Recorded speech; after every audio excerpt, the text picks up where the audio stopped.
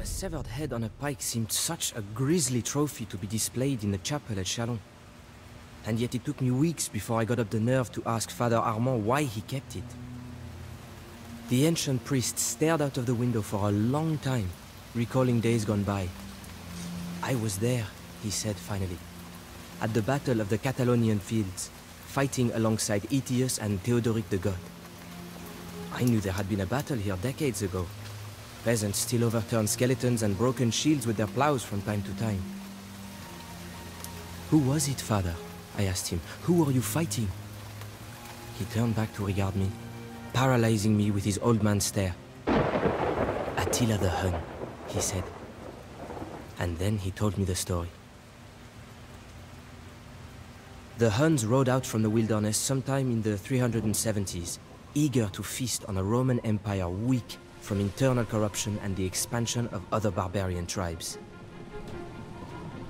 It was the Huns who drove many of these other barbarians before them. They were terrifying warriors from the steppes of Asia, their bodies disfigured from ritual scarring, their legs deformed from a near lifetime in the saddle. Despite their fearsome aspect, the Huns might have been little more than raiders, had it not been for the leadership of Attila. He called himself the Scourge of God. Attila and his brother Bleda led the Huns not just to raid, but to devastate Scythia and Persia.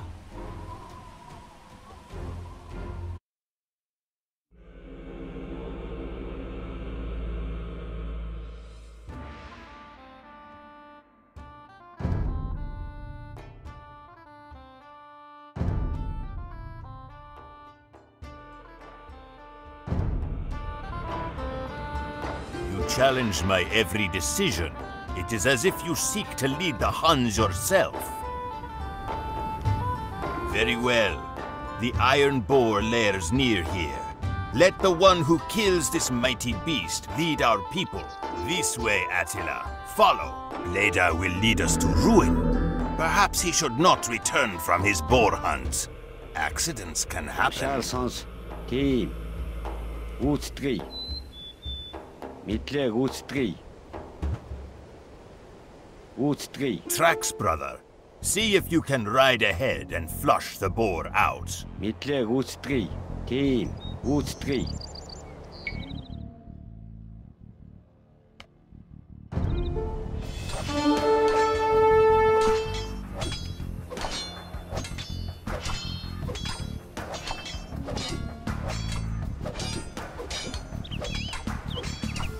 50.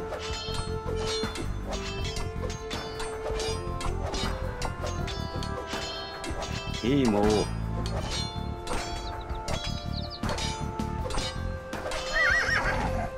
Leather is no. When Attila returns to camp, he alone will rule the Hans.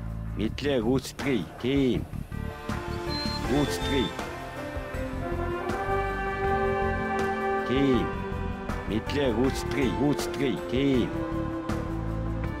Attila murdered Blada. We were too late to stop the bloodshed. We are left with an honorless cur for a leader. Now what were you doing in the forest, Hitler noble archer, if not waiting to ambush Attila at Blada's command? Now best rid of Blada. Hail Attila! Emo. Attila is king of the Huns. He will lead us to victory against our blood enemies. Тийм үү? Уур хачин. Бэлэн байна. Хижээгч. Бэлэн. Тийм. Захир. Модчин. Модчин.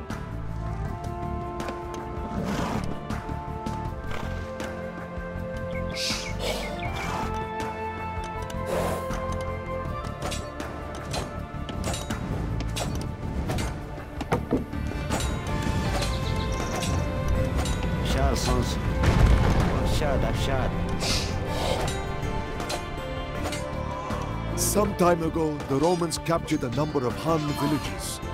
Bleda arranged for their return. I did not trust Bleda, and I do not trust the Romans. We should free them. No bargaining! Altan, itle gutskri. Itle gutskri.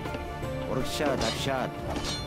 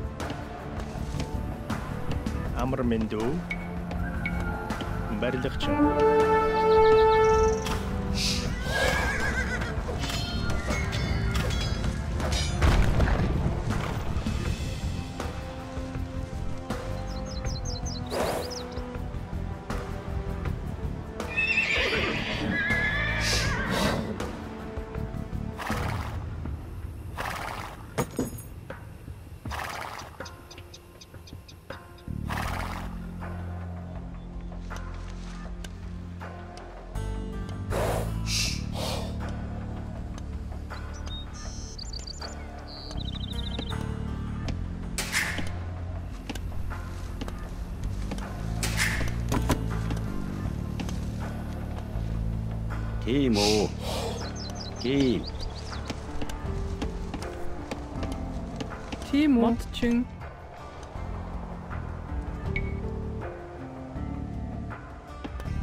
Модчин. Захир.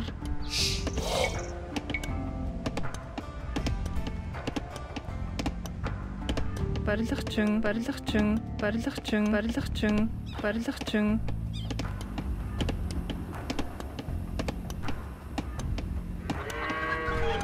Амар минь дүү. барилгачин.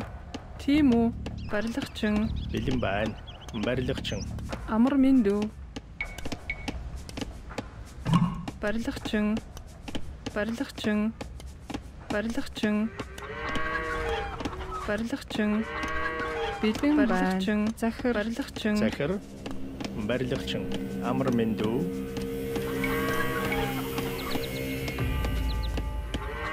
Модчин.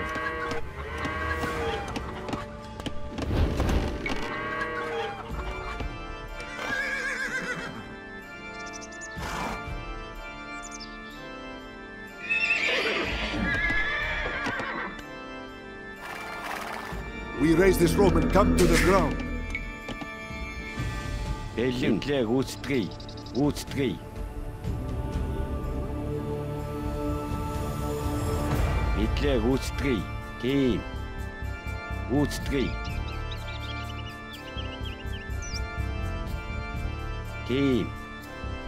Riding dash.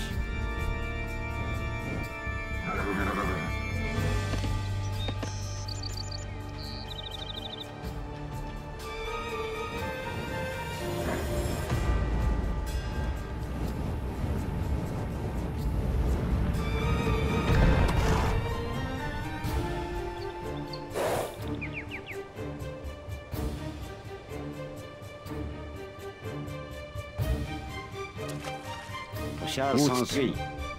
Мэдлээ гүйцэтгэе.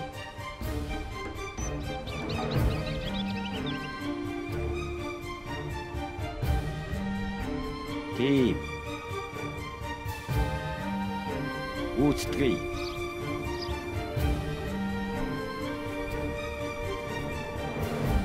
Мэдлээ гүйцэтгэе. Тийм.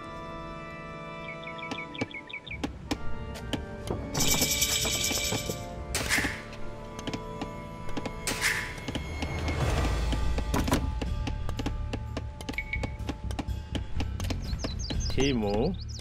Би болгоё.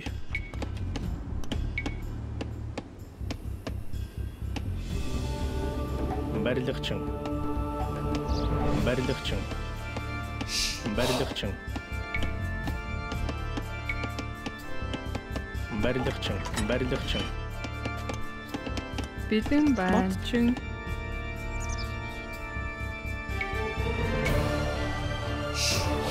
Барилгачин. Барилгачин.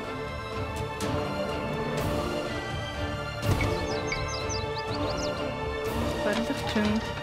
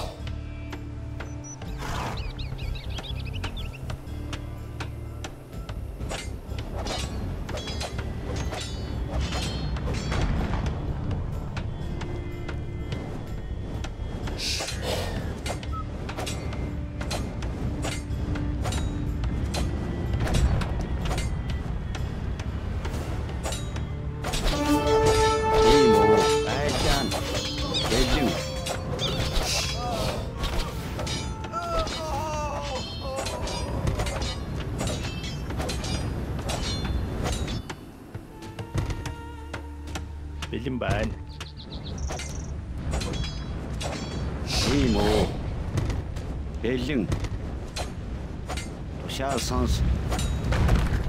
Гүйцэтгэе.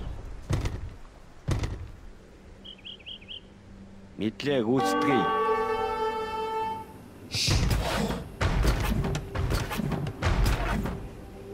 Гүйцэтгэе. Мэдлээ гүйцэтгэе.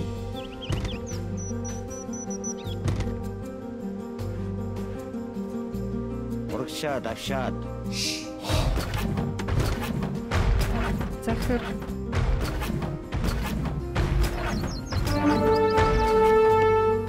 Захир. Уурхачин.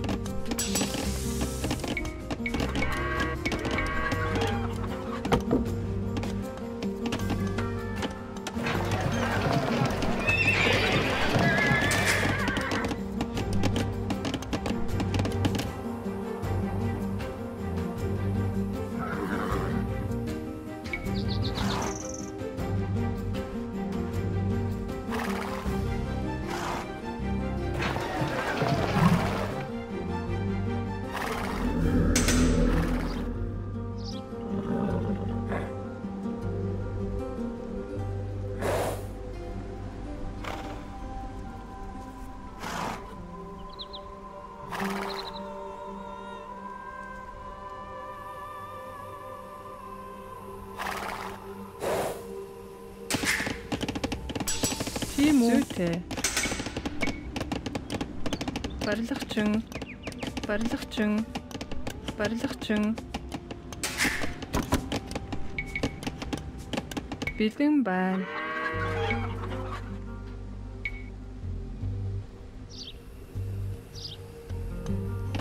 Уурхачин.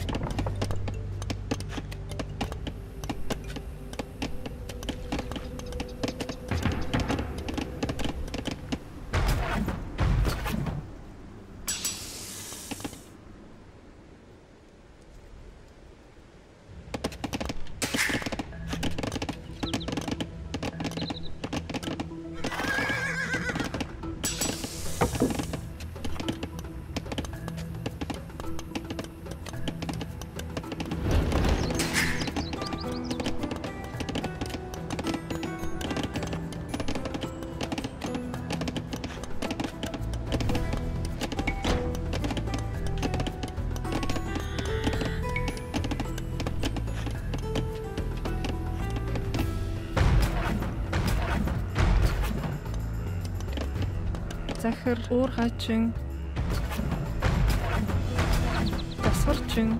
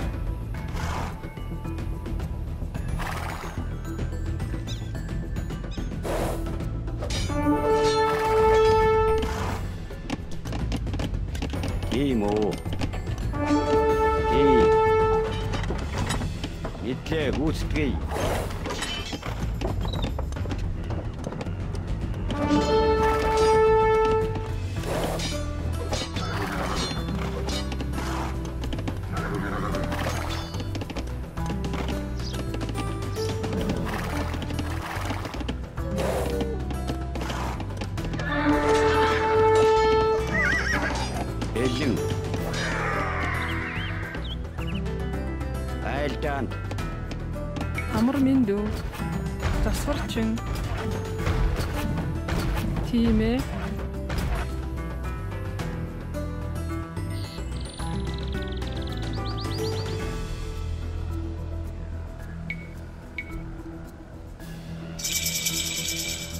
барилгачин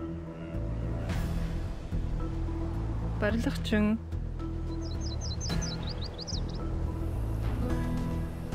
барилгачин барилгачин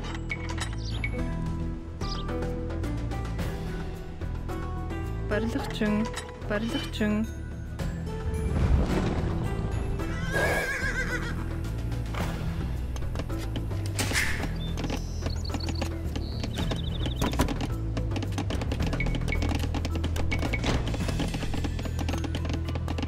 бэлэн байна. Модчин уур хаачин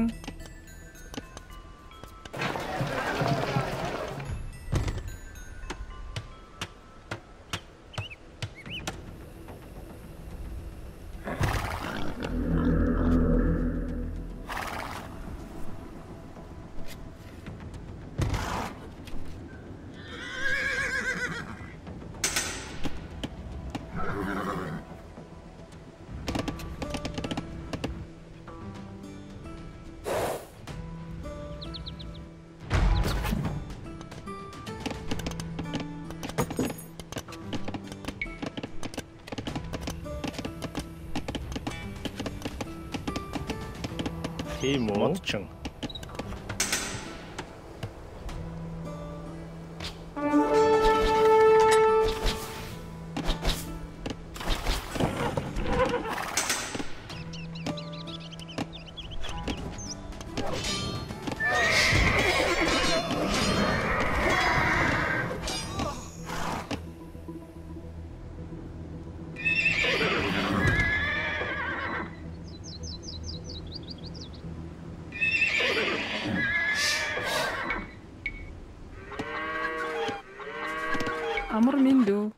Амар мэндүү.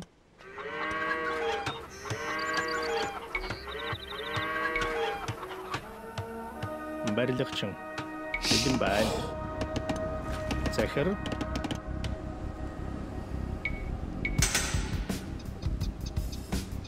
Барилгачин.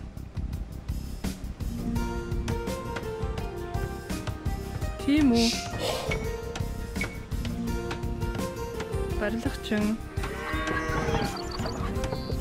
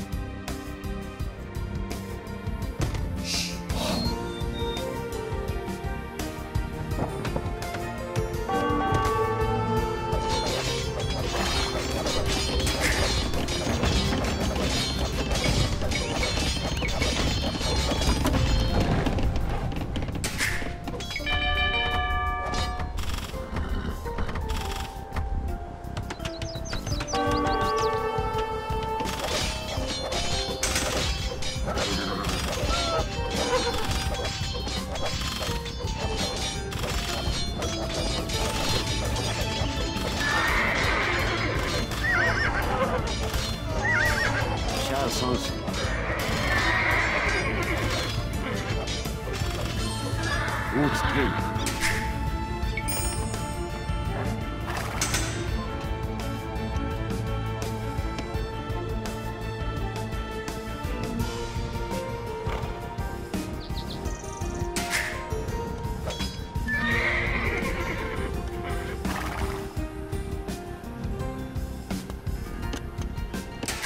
захир мотчин уур хаачин Тийм үү?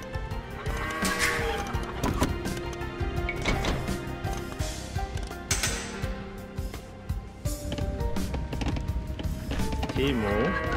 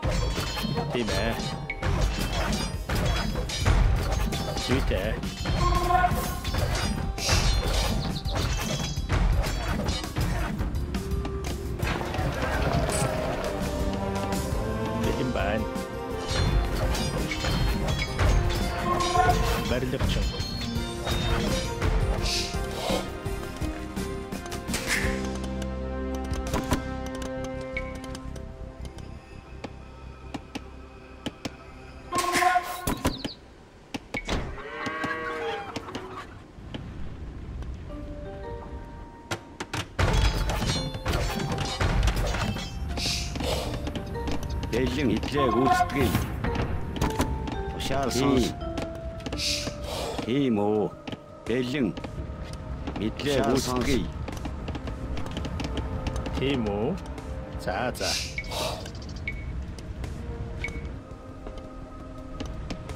Барилгачин. Барилгачин. Барилгачин. Тийм үү. Route 3.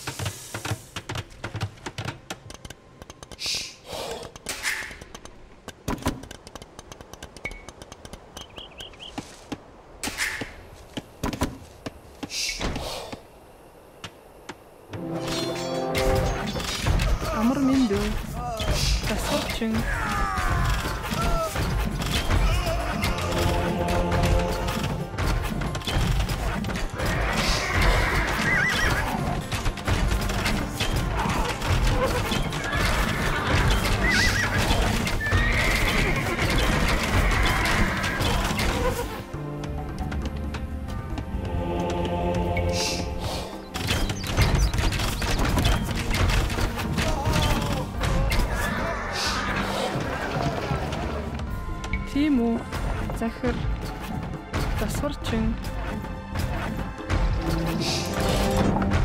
бэлэн байна.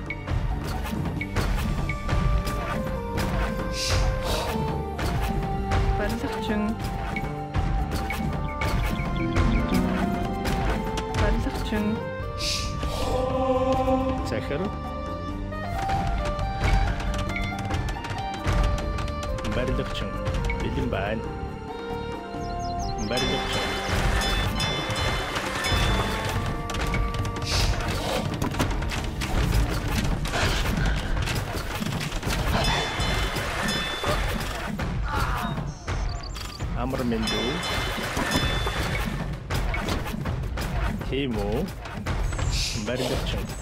Амар байна уу? Тийм ээ.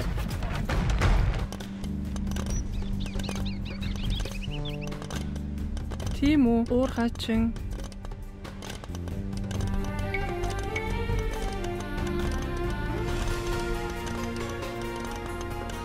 барилгачин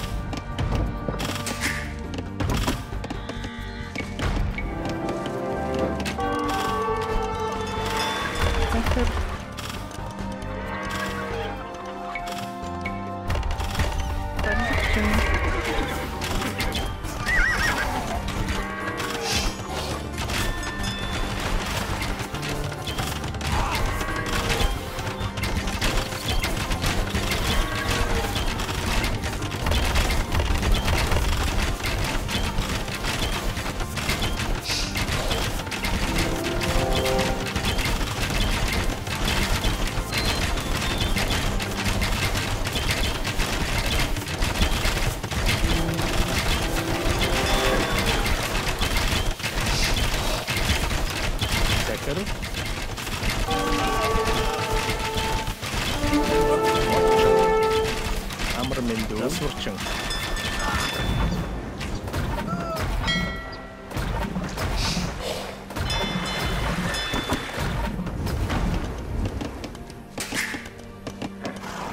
Бэлэн хий. Тушаал сонс. Тийм үү. Мэдлэг үүсгэе. Соёлгой.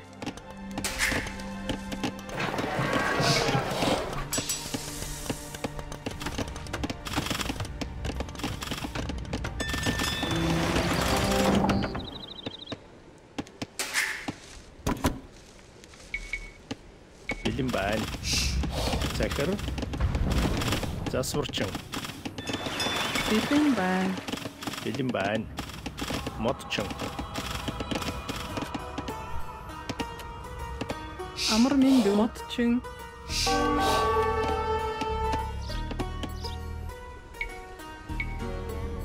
Барилгачин. Амар мэндүү. Засварчин. Засварчин. Засварчин. Модчин.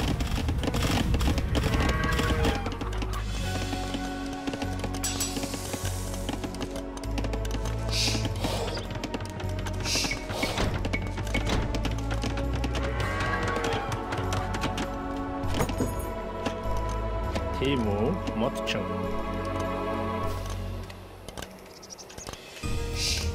Уурхачин.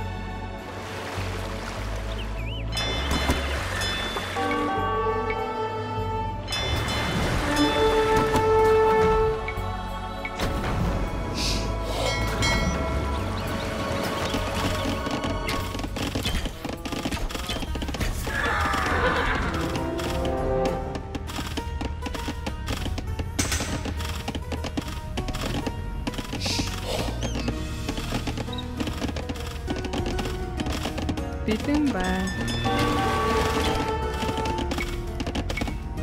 Барилгачин. Амар мэндүү. Барилгачин.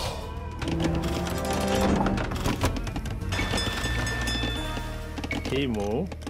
Захир.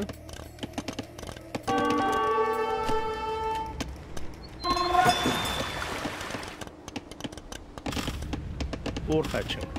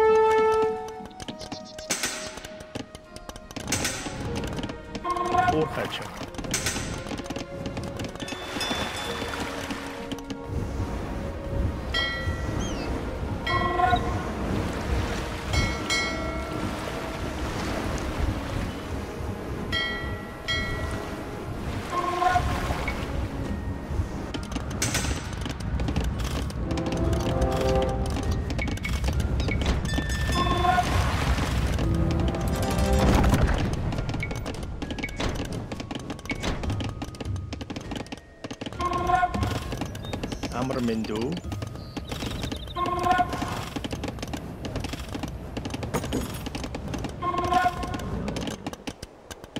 Тийм үү. За за.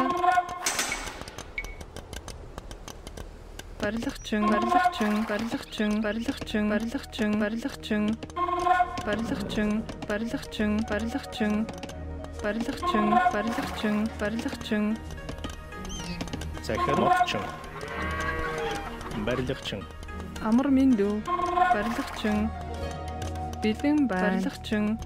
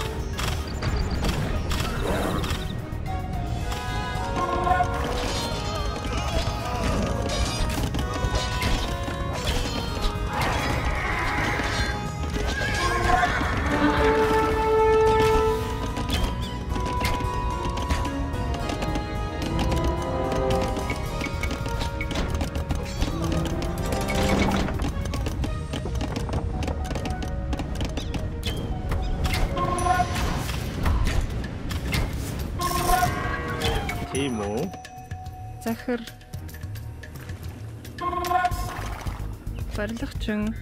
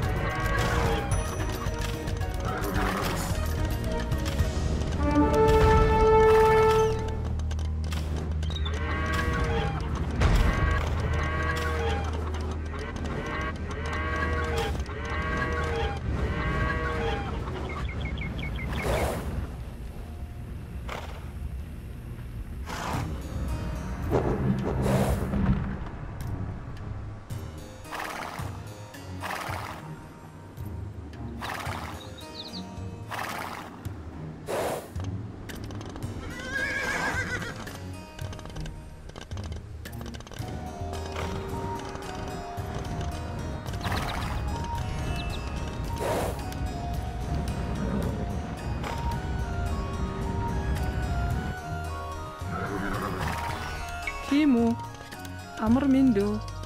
Мотчин.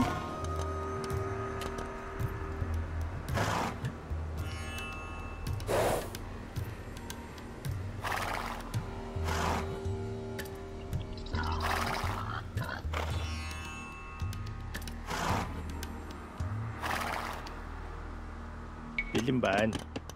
Бэлэн байна. Уурхачин.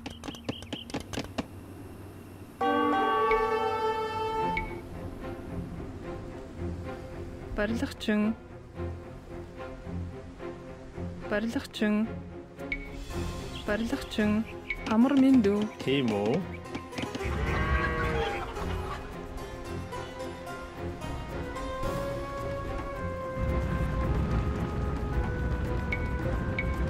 Барилгачин.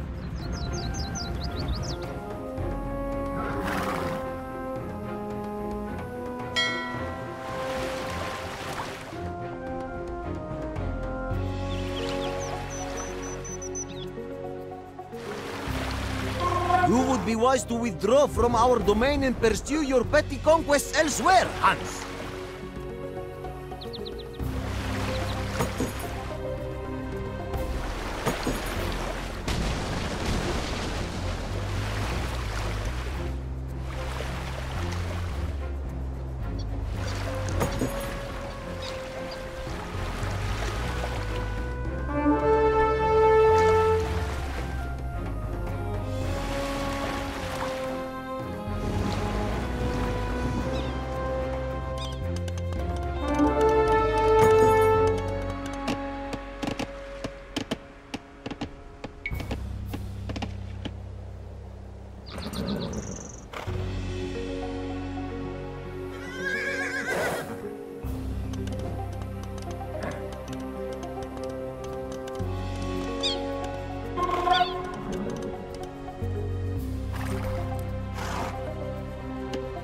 Our arrangement was hey. with the Blader. I will not turn the captives over to Attila. You must take them by force.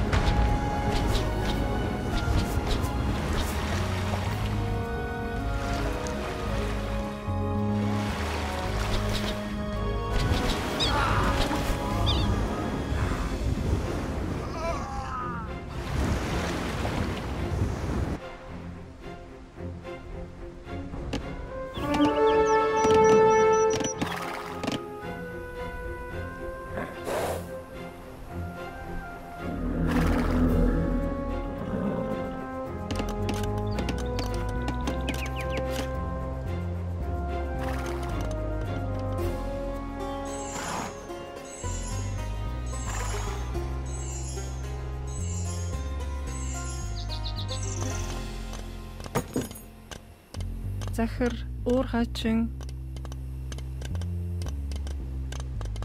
Бэлэн байна. Уур хаачин. Барилгачин.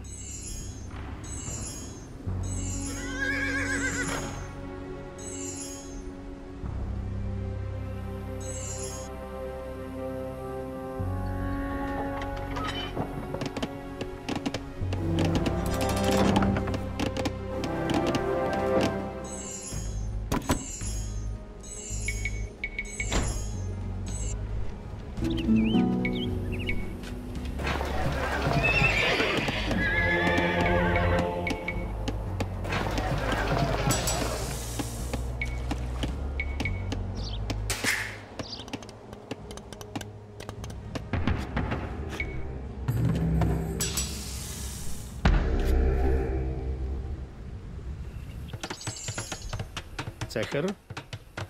Himo.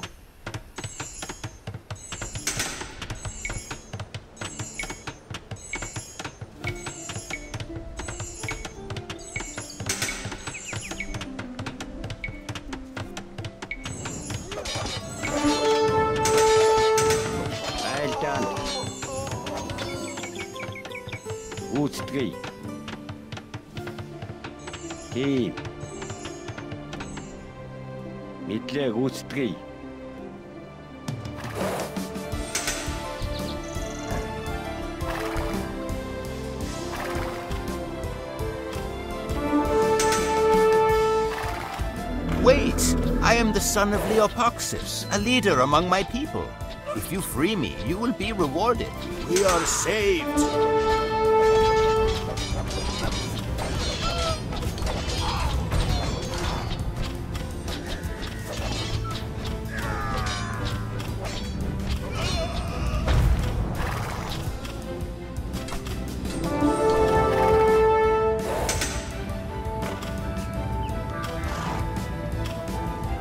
My thanks for rescuing me. We nomads should work together. Perhaps if your leader, Attila, will visit our village in the west, our people can make an alliance. For now, a truce? Urhaçı. Çekerim. Bildim ben.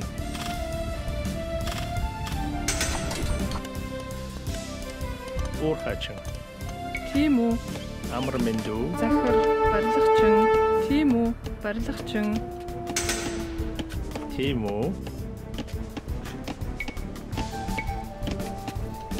Барилгачин. Амар мэндүү. Барилгачин, барилгачин, барилгачин. Барилгачин.